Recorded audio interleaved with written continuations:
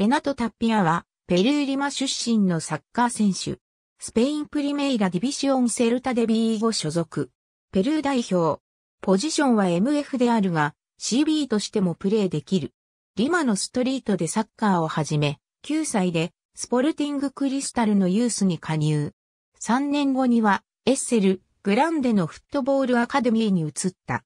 ユース時代には CB としてプレーしていたが、プレミアリーグ、特にチェルシー FC のフランク・ランパードのファンであった。16歳でリバプール FC やトッテナムホットスパー FC のトレーニングに参加。その後、イーグブと提携していた FC トゥーエンテでトレーニングに加わるチャンスを得て、即契約をつかんだ。18歳になった2013年7月に、トゥーエンテと4年契約でサイン。契約後は、エールステディビジに所属する B チームのヨング FC、トゥーエンテに所属し、2013年9月21日のデフラーフスハップ戦ででプロデビューを果たした。2014から15シーズンからはトップチームに昇格し、2014年8月9日の SC カンブール戦で途中出場を果たし、トップチームデビューを飾った。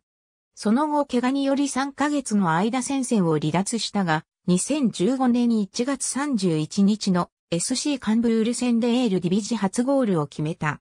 2016年1月27日、フェーノールトへ移籍。契約は2020年までの4年半。移籍金は公表されておらず、推定240から250万ユーロ。2019年1月14日、ビレム2にシーズン終了までのレンタル移籍。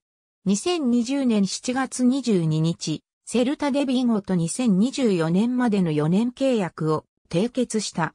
世代別代表に選手後、2015年3月31日のベネズエラとの親善試合で代表デビュー。2016年9月6日のワールドカップ予選エクアドル戦で代表初得点を挙げた。ありがとうございます。